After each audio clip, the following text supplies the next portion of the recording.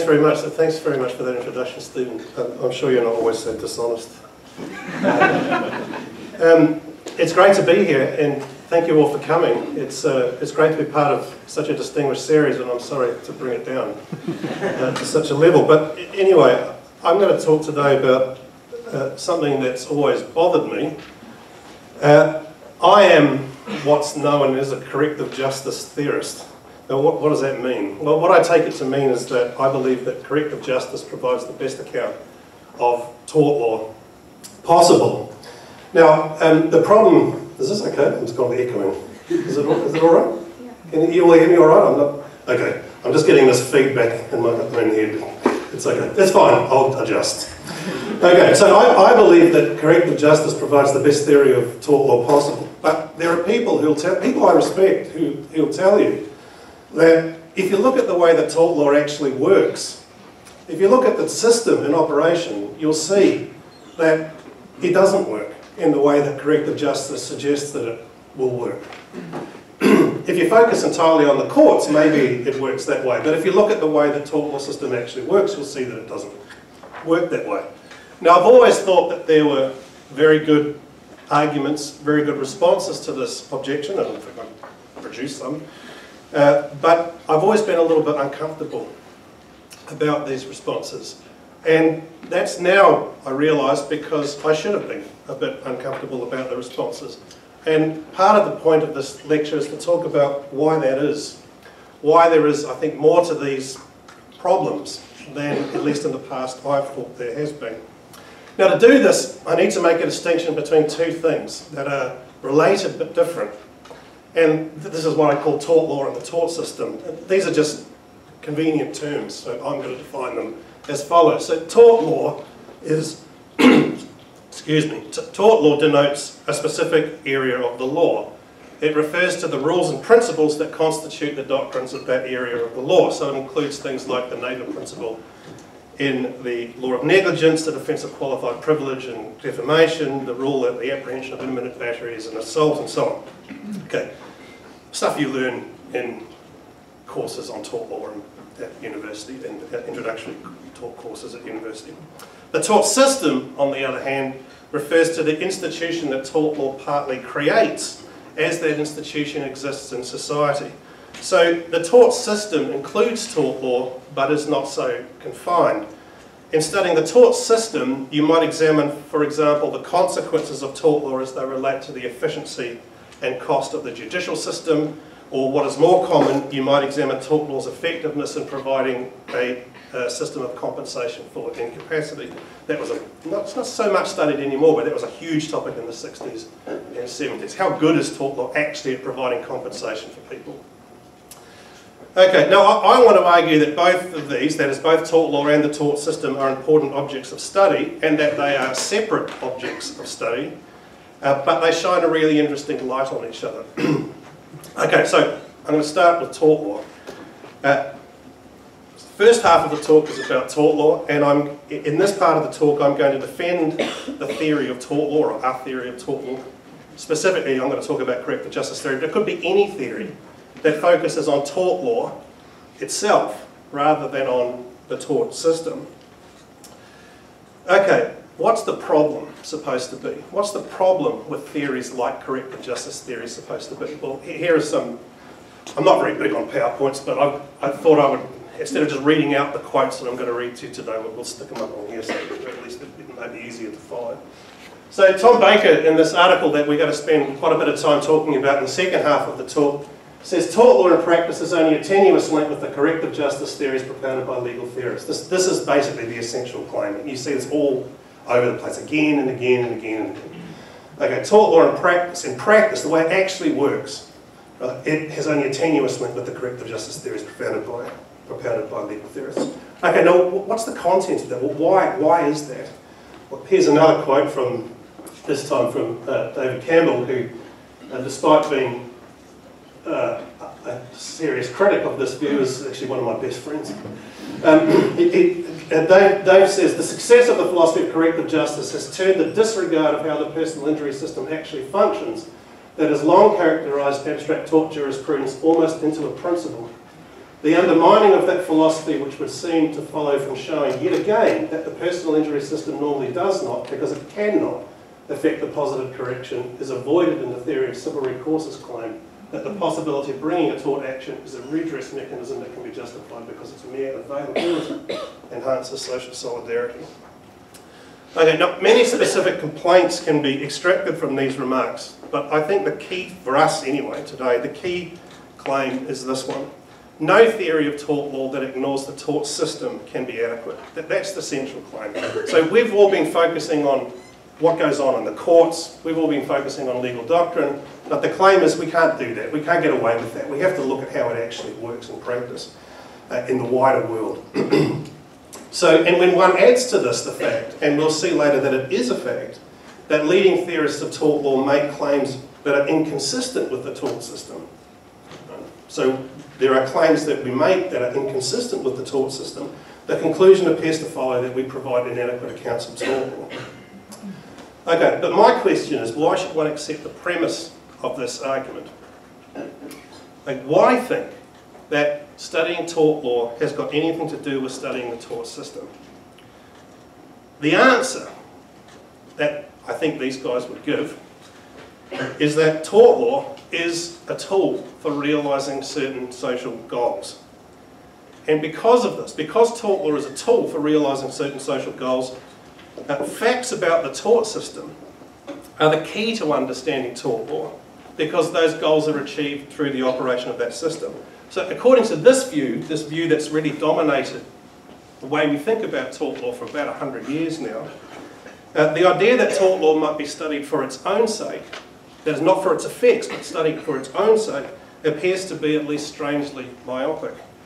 Now, in order to spell out this position, to explain it, I, I want to talk about the nature of tools for a bit. I'm going to talk about hammers I guess because it reminds me of an undergraduate studying Martin Heidegger. Going to talk about hammer. And I actually thought I should bring a hammer. I was going to bring a hammer. I thought, that's a bloody stupid, bringing a hammer all the way from New Zealand to Canada. So I hold it. But, but, anyway, so you've got to imagine, imagine that I'm holding a hammer. i have got, got, a hammer here, but, and there's a, you know, it's got a wooden handle, this hammer. Okay, for reasons that you'll see in a minute why it's significant that it has a wooden, hammer, uh, wooden handle.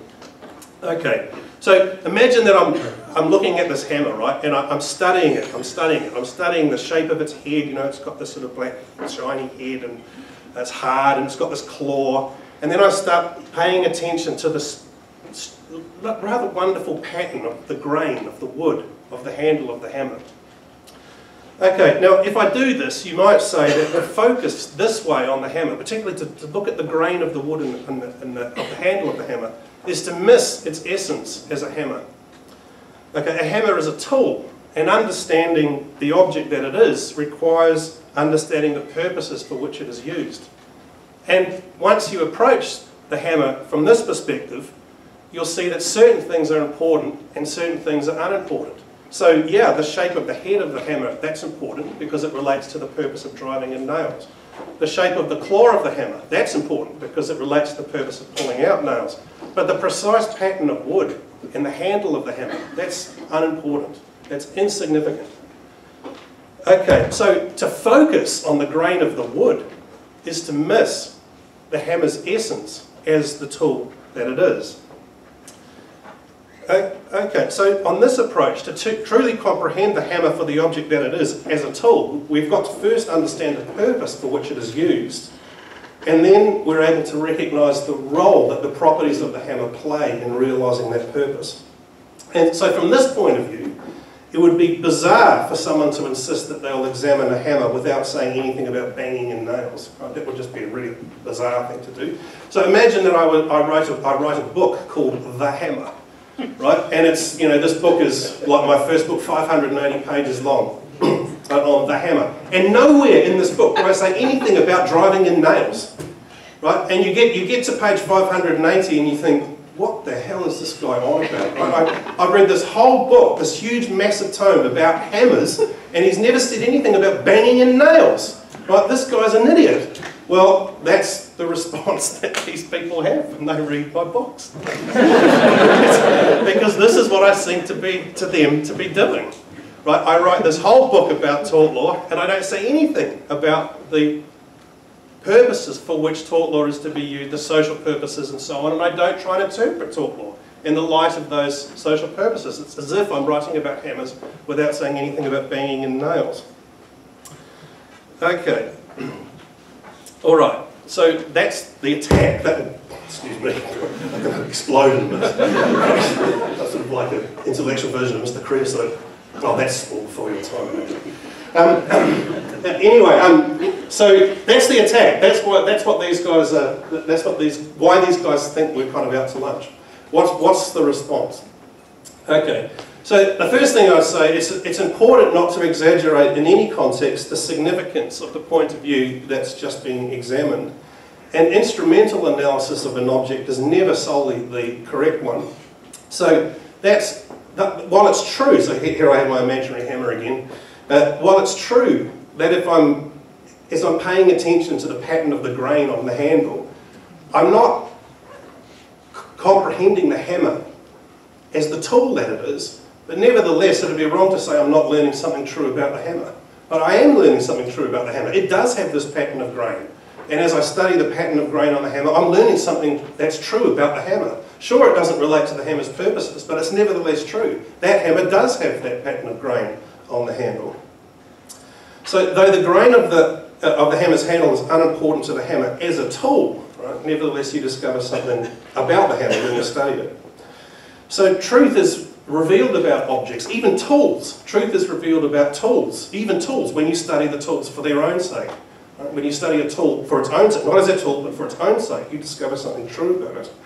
And there seems to be no reason to think that law would be any different, even if law were a tool. Okay, now one, let's think about that. Is it right to think about law as a tool? Why, why might it be right to think about that? Well, I think the answer again would be, well, because law has important social functions to play. We should think of it as a tool because it has important social functions. Uh, however, a great many objects that have important social functions, are, they are valuable for what they produce, aren't tools.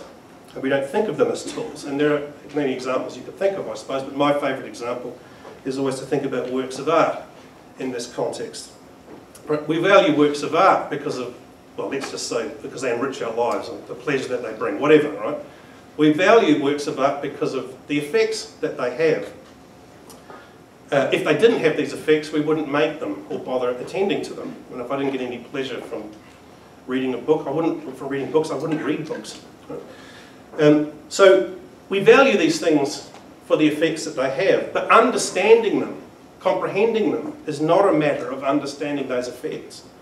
So Hamlet, for example, is, I believe, studied in schools throughout the English-speaking world. But when we study Hamlet, when you study Hamlet at school, you're not focused on the effects of viewing or reading the play. That's not what the study was about. Uh, typical questions concerning Hamlet would include things like, well, why does, why does Hamlet take so long?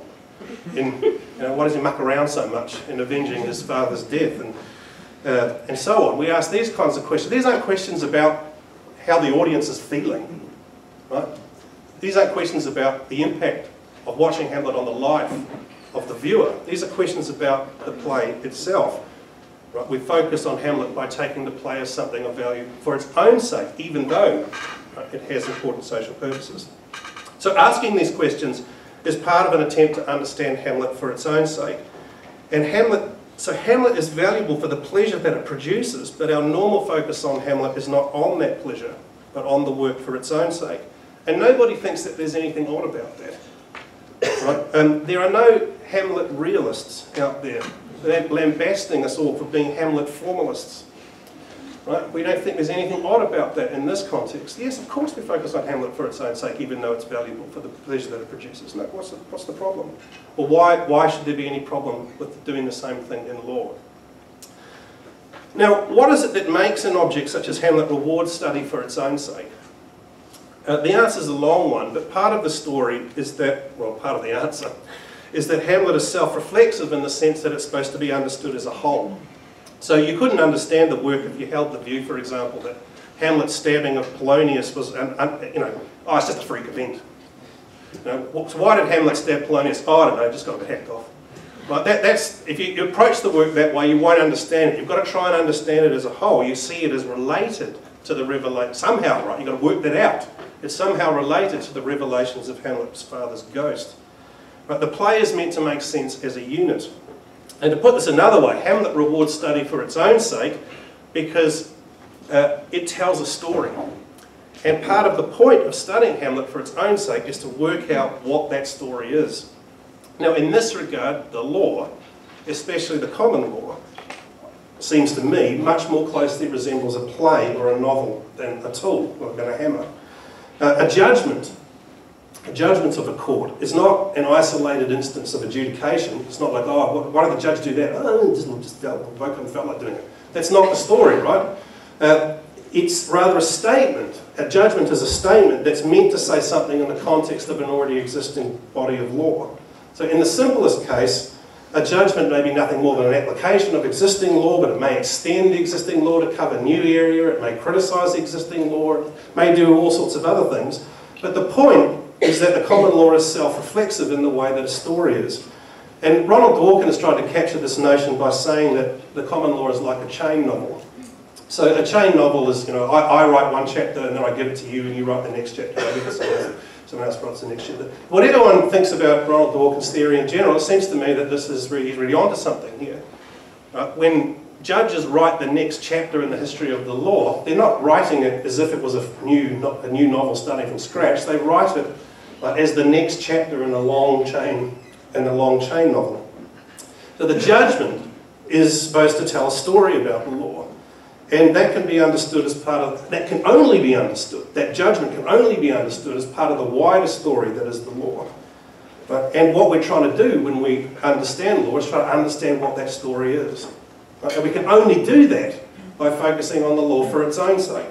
If we, if we turn our attention to the, the effects of law in society, we won't, we, we won't understand the story of the law any more than if we try and under, than trying to understand Hamlet uh, by, you know, I don't know, doing MRI scans on people in the audience. okay, so if to the functionalists, if to these guys, the formalist like me appears to be trying to understand hammers without taking into account the fact that they're used to driving nails, so uh, we seem mad to them. Uh, to the formalist, to, to me, these guys seem to be trying to understand the story of Hamlet by examining the effects of the play on the audience.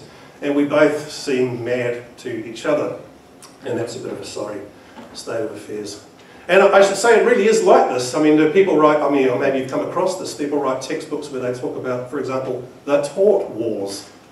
Right? And this is not just some kind of metaphor, you know, the tort wars, ha, ha. No, no, people really get worked up about this and dislike each other right, uh, over this stuff.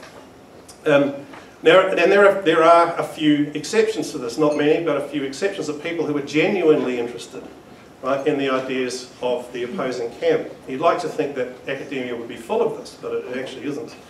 Uh, there are only very few people who have the generosity to be interested in ideas of the people from the opposing camp. And actually, the, the leading, our leading example of this, anyway, that I know of, is sitting over here. Jason Neyers, who's one of the, in my view, is one of the most generous academics uh, that I've ever, well, probably the most generous academic that I've ever met. I wish more academics were like him.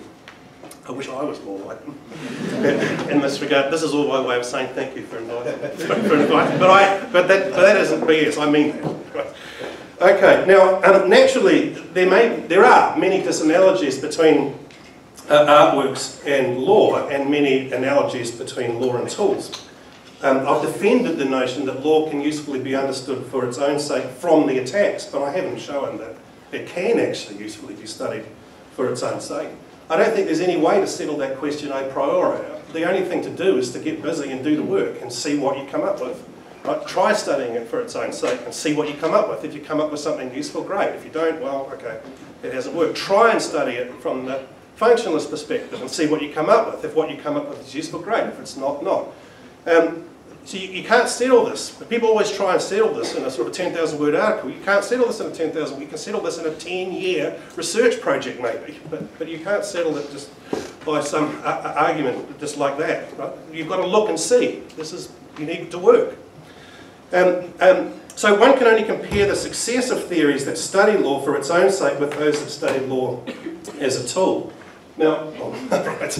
Uh, once this is realised, however, I, I, submit that though we don't have a clear winner, maybe we just we do have a clear leader between the modern mainstream functionalist analysis of tort law and the corrective justice theory.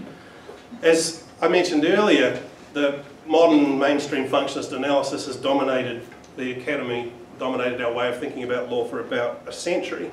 And I think we just have to ask ourselves, over this period of time, has our understanding of the law become clearer? Uh, do we have a firmer grip on it than we had 100 years ago? Right, have problems been resolved? Right, do we, do we now go, oh, they didn't understand anything 100 years ago, now we know. Right, if you go back 100 years, it looks as if they knew pretty much what they were doing and we have no idea. Right, we're completely lost in a way that people 100 years ago were not lost. Um, so, and I think this is actually widely accepted. If you pick up tort textbooks, you'll find even people who defend the modern view saying that the modern view doesn't really make any sense. And I, I must admit, I find that really kind of odd. And there's a lot of what, I, what seems to me to be defensively indefensible uh, in modern thought scholarship, where you say, oh God, these corrective justice guys, no, we don't want them. Right? We don't want, we don't want them infiltrating us. No, we'll stick with the status quo.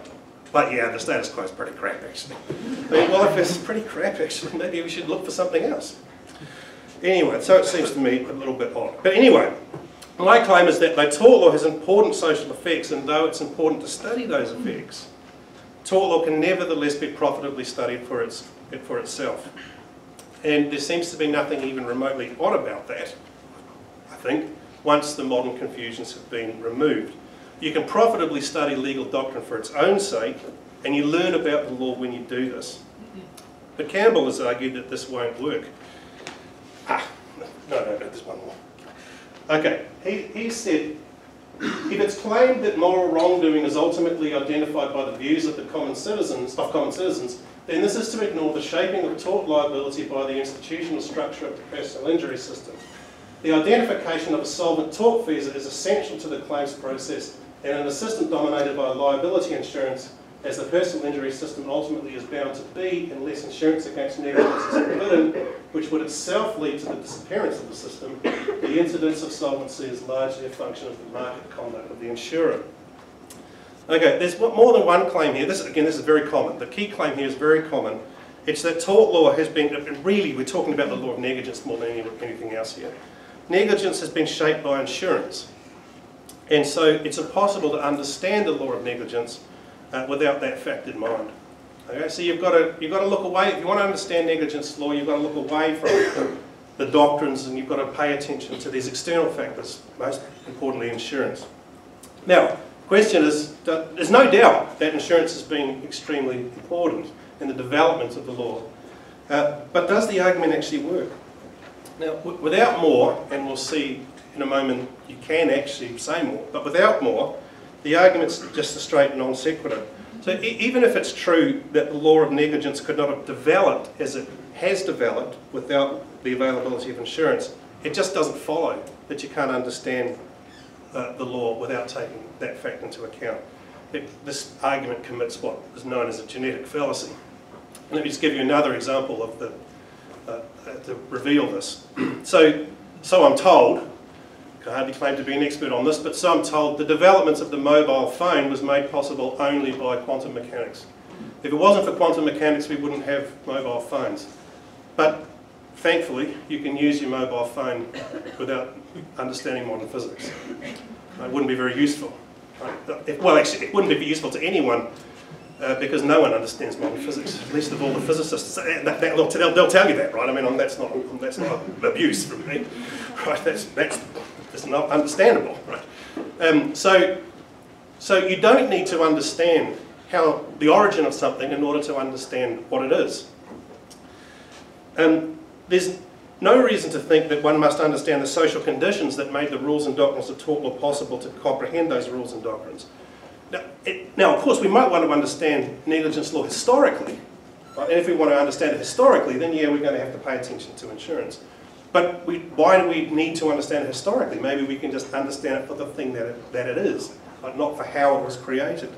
Likewise, if it turns out that we discover that Shakespeare wrote Hamlet because he had a Danish cousin that he, was, he wanted to annoy, right? Um, that would be interesting, right? But it wouldn't necessarily affect our understanding about what the story of Hamlet is. Okay, so, uh, and it's important to recognise that the corrective justice, although this is, this is really commonly misunderstood, the corrective justice theorist is not committed to the view that the extant positive law is a perfect instantiation of her theory.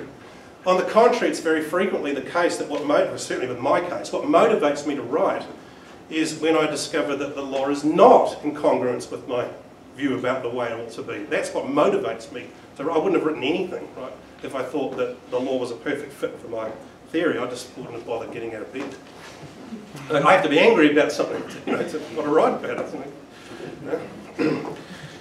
okay, um, now, um, so, so the corrective justice theorist is not forced to deny the, the influence of external concerns on the positive law or to turn a blind eye to these things.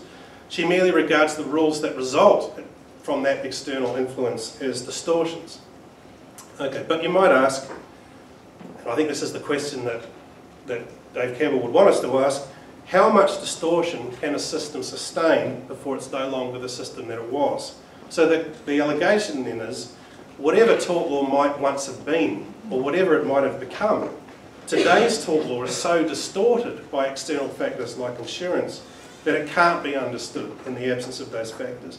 But again, that seems to me to be, it's not something that could be true a priori. Whether it is true or not is a matter for investigation. All you can do is try and examine the law without taking insurance into account and see what you come up with.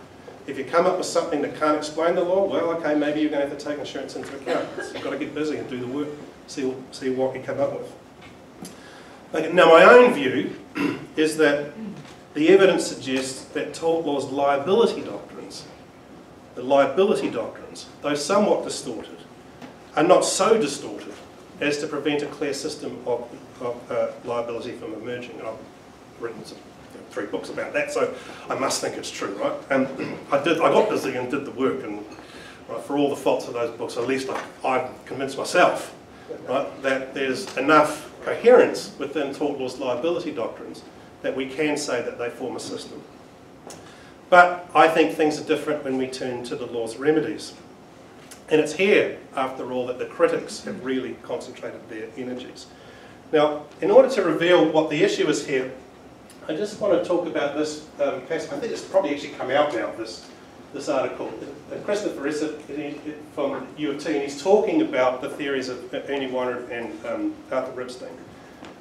Uh, and this is just this is just a summary, but there's a, a really crucial ambiguity in this summary that I, I want to bring out.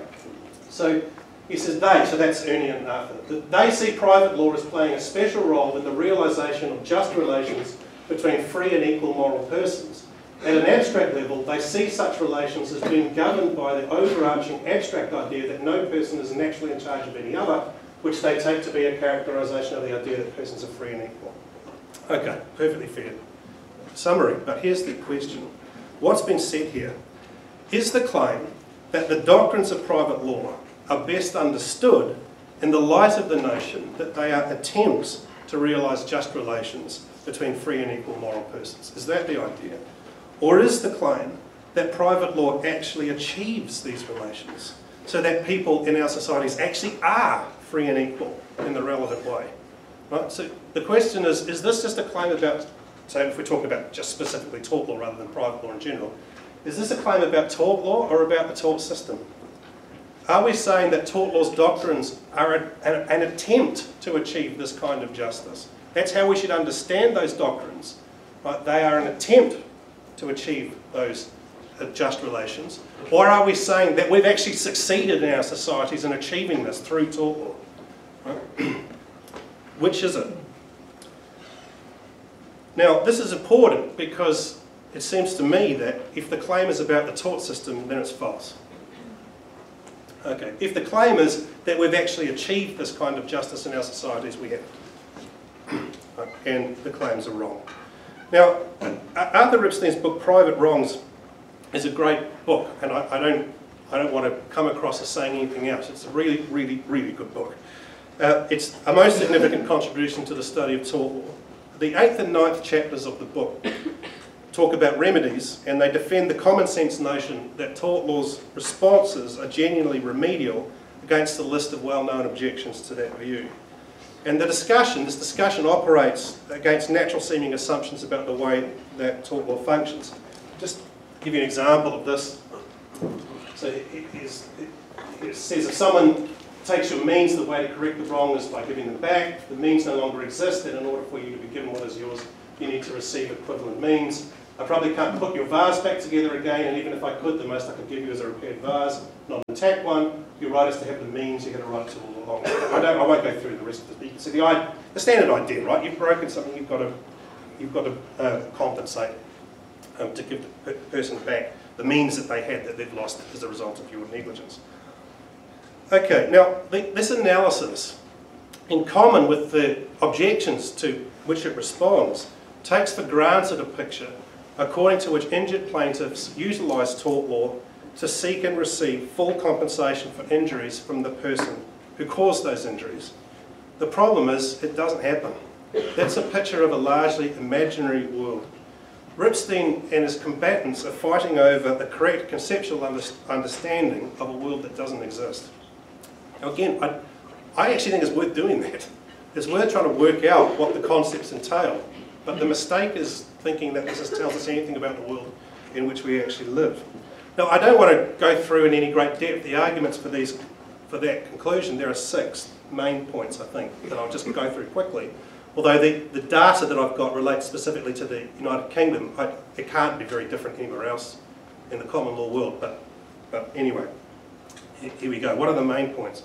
The first point is that litigation generally occurs only when the defendant is insured, regardless of the strength of the plaintiff's position as a matter of law. So even if you're clear you're going to win, if the defendant's not insured, you just won't bother. And what's more, the damages are paid by the insurer. And we're going to look in a bit of detail about why this is. It's not quite the reason that you might think, why the damages are normally paid by the insurer. The second is that social, the second point is that social welfare in fact, in fact plays a far more important role than tort law in compensating victims of torts. We tend to think that insurance is the big factor, but it, it turns out that social welfare has been extremely important uh, in, in shaping this area of the law as well. And another reason for that, the third point, is that welfare plays a really important indirect role in funding tort litigation, so that those who don't receive welfare support are highly unlikely to receive any compensation through the law. So we don't provide welfare support for people so that they can sue.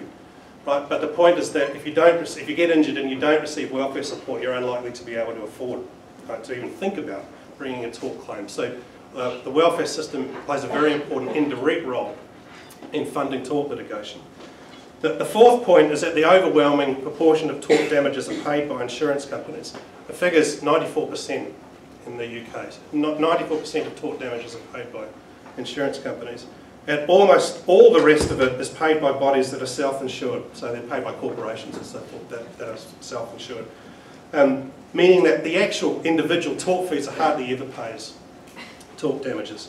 The fifth point is that potential plaintiffs are normally determined to settle rather than pursue claims through the courts, even if that means that they receive significant undercompensation. Now, they'd rather get something and not go to court than go to court and get more. And the last point is that most tort payments are in fact, this really surprised me, most tort payments are in fact for minor injuries and tort law plays only a very insignificant role in providing compensation for major injury and that falls back on social welfare and voluntary work. okay, now the claim here, I really want to stress this, the claim here is not that tort theorists can't respond to these problems. Uh, tort theorists can respond to the, these problems if their aim is to defend their theory as a theory of tort law. But the problem is that if, tort, if the tort lawyer, if the tort theorist gives the impression that the world is the way that their theory suggests that it would be, then we have a problem.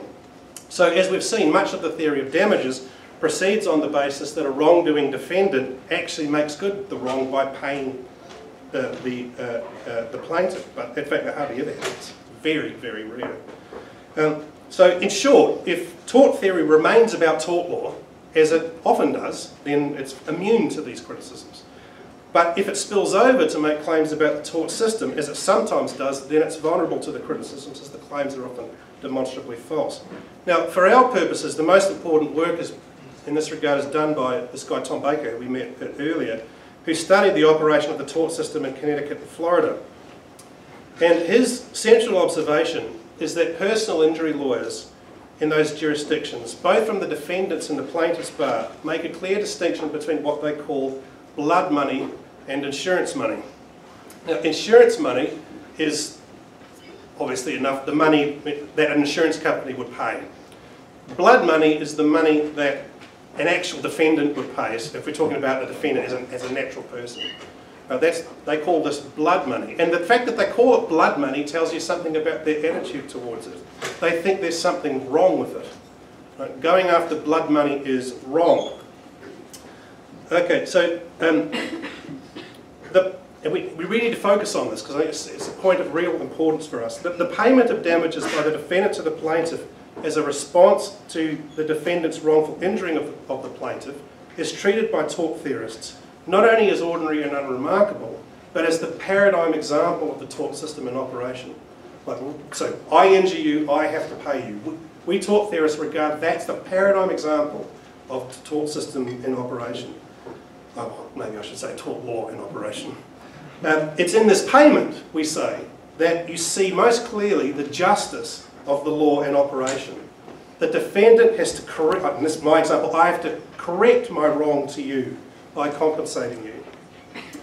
Thus, the payment of damages is thought to be the archetypal case. Right? The payment of damages by the defendant to the plaintiff is the archetypal case upon which all other kinds of payments are parasitic. But it's utterly remarkable then that the same payment is in fact highly unusual and that it's highly unusual in part because it's regarded by practitioners of the tort system as seriously iniquitous. It's not just that they don't go after it, they think it's wrong to go after it. Okay, so we think that this is the paradigm example of justice in action. The practitioners think it's too unjust to be contemplated. But why is this? Well, here, here are some quotes. One of the things that, well, okay, so here, here's a quote from Baker, and then we'll have a look at some of the interviews. So insurance money is something that all personal injury lawyers talk about. Uh, imagine they don't talk about much else. But blood money is a hidden subject that lawyers have to be pressed to talk about. It's, a, it's a secret, it's a dirty secret. Uh, when they do, most plaintiffs' lawyers claim that they try not to go after blood money, and most defence lawyers back that claim up. Now, what, what Baker did is he conducted interviews with people, and here are some extracts from the interviews. Uh, we, we don't do it often, go after blood money, and if you talk to every res responsible plaintiff's lawyer in the state, I bet it's rare. It's irresponsible to go after plaintiffs, uh, to go after blood money. Uh, I mean, there's what we used to call an unwritten union rule that you take the insurance coverage and you go home. It really doesn't happen too often. Guys will call and say, this is from, from a defence lawyer, guys will call and say, what's the insurance policy? And that's it. And they go away. But we do have situations where they go out and put an attachment on the house, not too often. It's almost like an unwritten code of lawyers that you don't go after those. But there's no rule on that. It's just been something that I was think I was taught. I think that, that I think I was taught by my bosses, and you see it among the plaintiffs' lawyers. Okay, Baker even documents that he was told by a plaintiff that plaintiffs' lawyers will refuse to represent clients who insist on blood money. So if you go and say, I want that guy to pay, they'll say, no, okay, let's find someone else. I'm not going to do it. Okay, he tells another story of a defence lawyer who had a friend who sought blood money from one of his clients, and this was his response. So I love this. So, so he, he hears, he, it's his mate, right? It's his friend who's, who's, who he used to work with, who's gone to work for, for himself, and he, he finds, he's, he's, now representing a plaintiff, and he finds out, hey, this guy's going to sue my client for blood money. So he rings the guy up and he says, so first I thought it was a mistake, and I called him and I said, John, what are you kidding? 50 is 50 is 50 is 50. That's the policy, the insurance policy. You only get half the damage, half the compensation that you, strictly speaking, entitled to. That's all we've got. Take it and go away.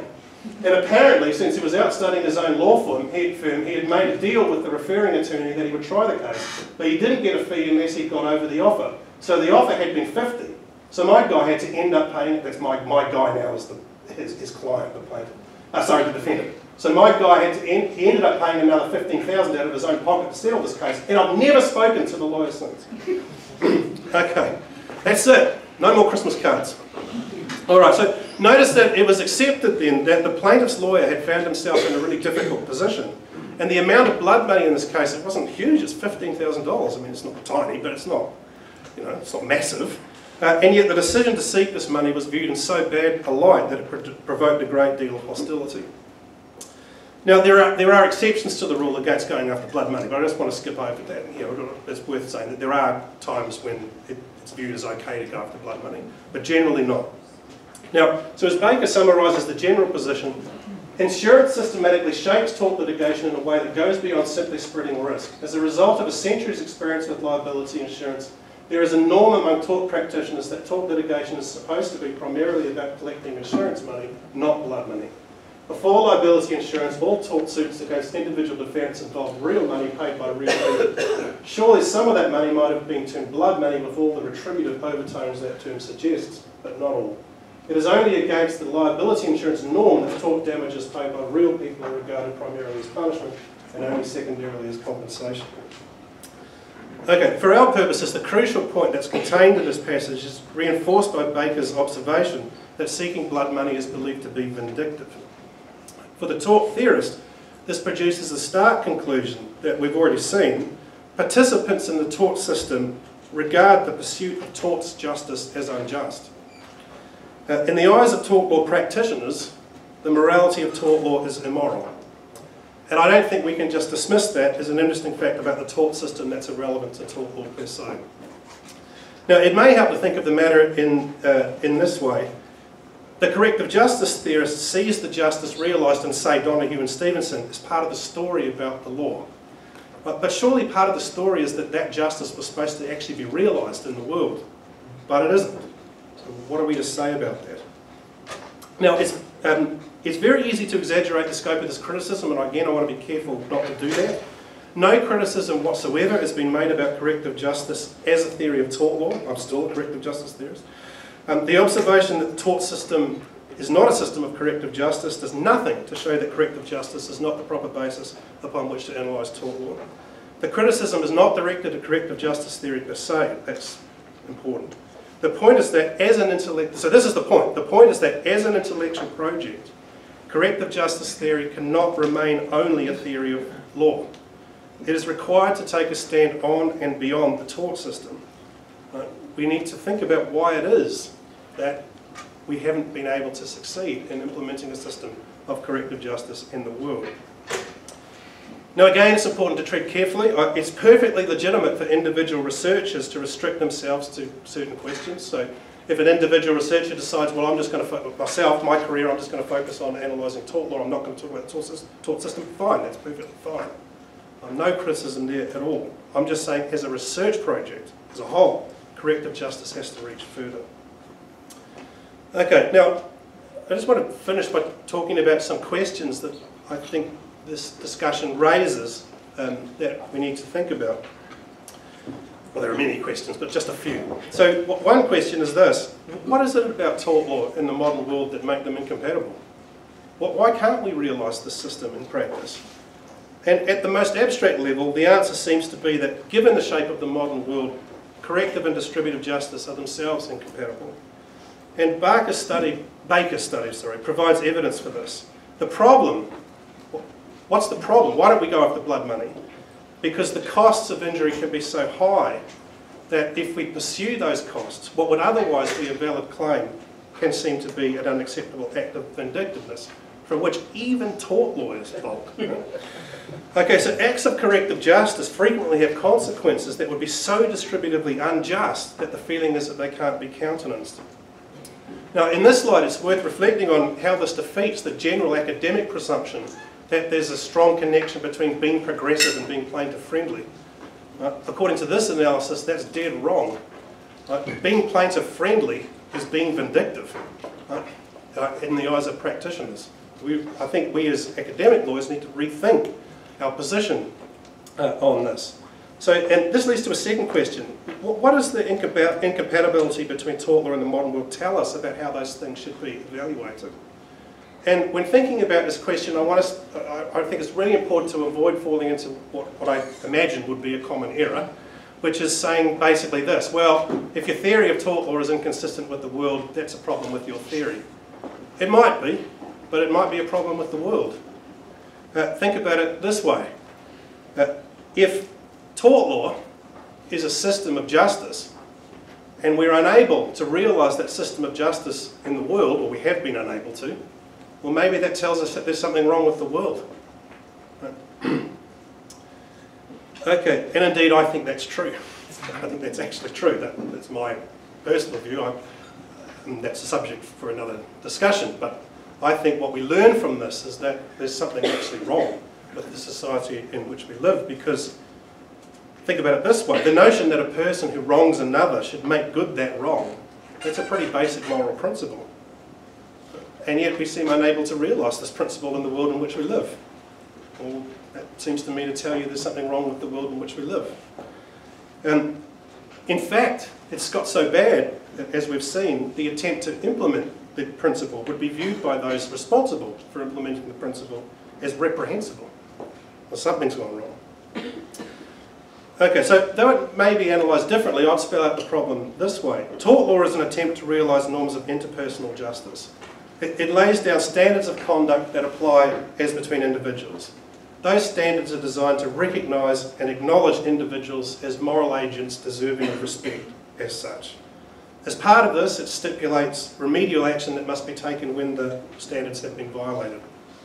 However, as we've seen, we appear unable to implement this system that seems to reveal that the modern world is such that it cannot allow us to relate to each other in morally appropriate ways.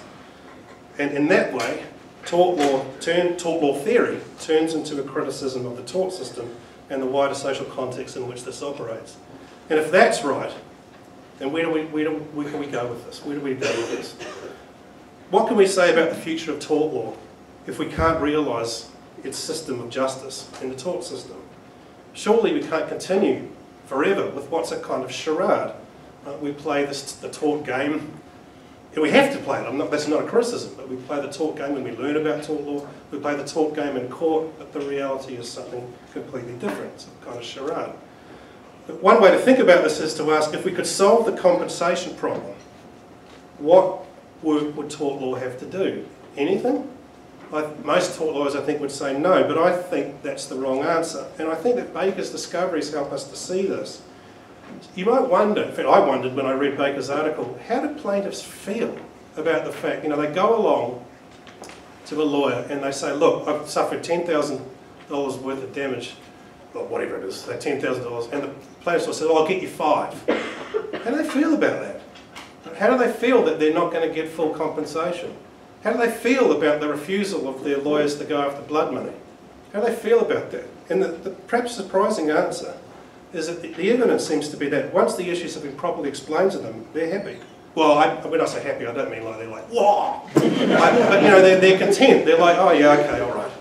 But they're, they're content. And in part because they come to see themselves that it would be vindictive for them to go after the blood money but also very importantly for our purposes because they gain a different kind of satisfaction.